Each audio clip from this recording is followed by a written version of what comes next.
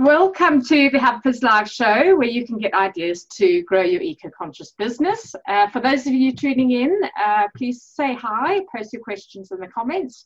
And the show's only 10 minutes. We've got time to answer them live, we will. Otherwise, both Lynne and I will respond to them after the show. So today I'm joined by Lynne Stainthorpe of Big Idea Brand Marketing. Hi, Lynne. Welcome. Hi. Hi, Karen. great, great to have you on the show. Um, Lynne works with small business owners with big ideas. So she helps to revitalize your purpose driven brand. Um, so you'll feel proud of your brand identity um, and messaging, connect more deeply with your target audience, um, elevate your business and increase your visibility and bring your change to the world. So, Lynne, I know you work with a lot of um, we, have worked on a lot of projects together and we work with a lot of um, ethical and conscious business owners. Yeah. Um, so really great to have you on the show to talk a bit about building your brand during COVID. Yeah, yeah. thank you, thank you. Well, this is what I've prepared. yeah, so one of what I want to ask you was, is there something that we should all be doing to evolve our brands during COVID?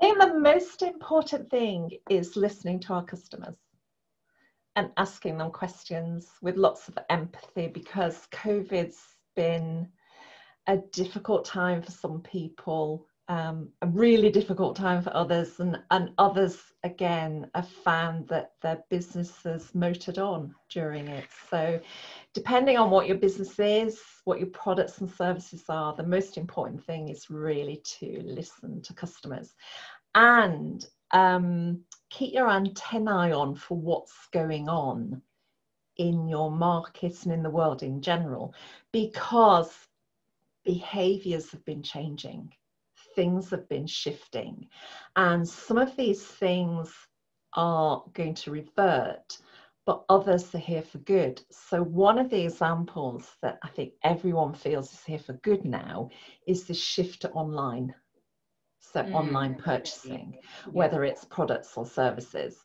So um, I was reading about John Lewis, who of course are quite an ethical business based on their partnership principles. Um, and what's happened to them because they have physical stores and an online service, you know, the omni channel. And this is meant to be the way to go forward. So before COVID, their business is 40% online. And now their target is to shift 60% of their business to online. Wow. They've closed a couple of stores as well. So listen to your customers, but also look at these trends and then ask yourself, what can I do with my products and my services that means I can take advantage of what my customers say they want, what they need, and what's going on in general.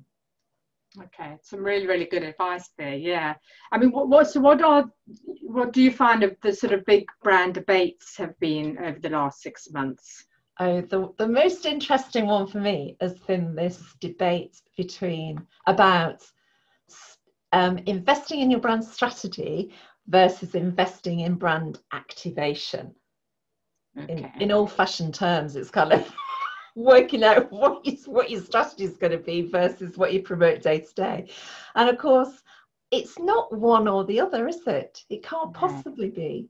It's all about balancing, having your vision for the future, staying true to your purpose and your values, but also um, investing in what you need today and the next day, and having your 90 day plans and your I suppose most people work with 90 day plans, don't they? So have your annual plan, have your 90 day plan, but have your vision as well. So everything you do stays true to your vision. Yeah. And your activation is a step towards it. So it's not one or the other, it's balancing investment in the future with investment in the day to day.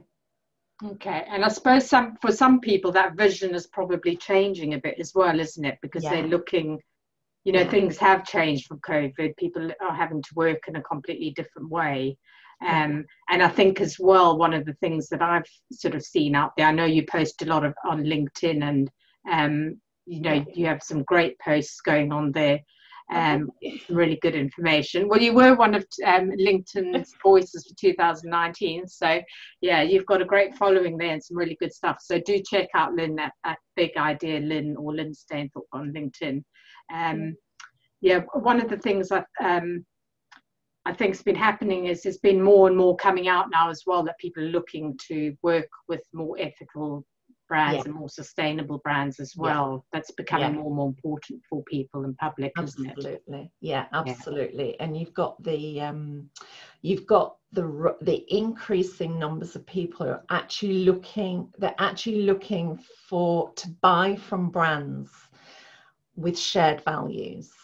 Mm-hmm. And brands that can articulate what they're all about, so why they exist.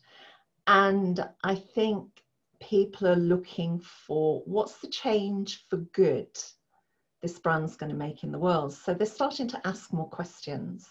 And isn't it interesting the news today about the government saying that they're going to ask businesses to verify their sources of products like palm oil, cocoa, coffee? Right, okay. I mean, the big debate is campaigners are saying this is great. The big debate is what are the penalties?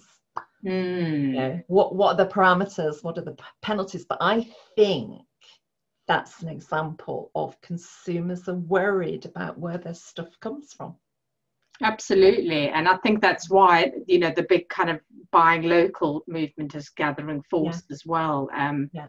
You know, not meaning that you can't buy anything from abroad and you shouldn't be supporting sort of your yeah. global partners around the world but yeah. you know that if you're going and buying veg from someone you know you can go and see where it's growing from and get to know the person you're actually buying from so yeah. i think that's mm-hmm. really important actually local shopping's been one of the one of the other trends then there's right. online and there's buying local isn't there yeah and with a lot of the local delivery services and that as well yeah yeah fantastic yeah. and and how can so how can you how can we tell if our branding needs an update um, good question. Um, the obvious, the, there are the really obvious ones you start with. So does it look and feel dated?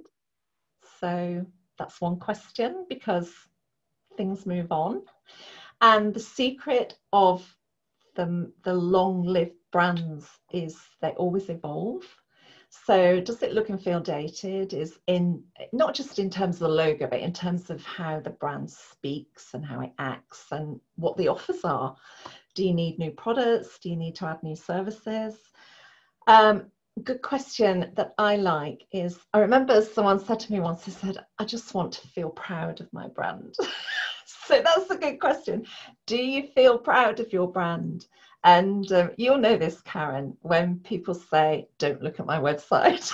Yeah, that's the real that's the real symptom. Or they don't want to hand out a business card, or they yeah. write on a business card. That's the, they're all signs that something needs to change, something needs to shift, and it doesn't have to be. You know, it can be anything. It could be a reinvention, but it doesn't have to be. It can be a refresh it could be that you don't need to change your logo, but you need to change the way you, you the sort of images you use, the way you talk, what the services are. Yeah. Um, and it could and, just be a little sort of modernizing the logo or evolution, you know, give yeah. it a bit of an evolution, a bit yeah. of color change, tweak yeah. a bit. Yeah. Yeah, yeah. Make it look a bit bit more of today or yeah. of the future. Um, some signs are um, launching new services which or products which then appeal to a new type of customer which mean that um, either do you want to keep the existing customers on board or are you letting them go? So do you need to represent the brand as well? So they're all clues but at the end of the day you want a brand you feel proud of that's not stopping you getting your message out out to the world the one that you feel proud of so it's helping you get your message out in the world yeah so definitely and i can attest to that sort of since i've done it yeah i had got yeah. to the point where i was not wanting to share my website i was not yeah. i was feeling confused about my messaging i was getting across when i'd go networking or, or trying to market as well because you didn't i didn't have that kind of niche yeah. and think to make it, the marketing easier and know who I was trying to target. So that was yeah. That's been so helpful. So anyway, we are coming to the end of the show. I know you've got a couple of offers which we've shared in the post. So for those of you not ready to rebrand, you've got two offers. Um, one is to fine tune your brand color palette. Yeah. And the other one is to have a brand audit. And I know these are really popular and huge yeah. amount of value. So definitely, if any of you are interested, we have got um, we have got the links in the post. Yeah. Um, you can find Lynne at Big Idea Lynne, and that's across Facebook, Instagram, Twitter. Yeah, although I'm not that active on Twitter and Instagram at the moment, but definitely Facebook. I mean, yeah. I will get the messages, but yeah, yeah, more like Facebook and LinkedIn. Okay, and we've had lots of comments. So we've got um, yeah, Nikki, Christelle, Gail. Yeah. Um, yeah, it's really getting busy there. I'm so sorry, guys. We haven't because it's so quick and short, you don't get time to to answer all these questions live. But um, both me and Lynne will jump on the post straight after, get to all your questions and answer them. And if you're watching later as well, do keep answering questions there, and we'll keep checking back later.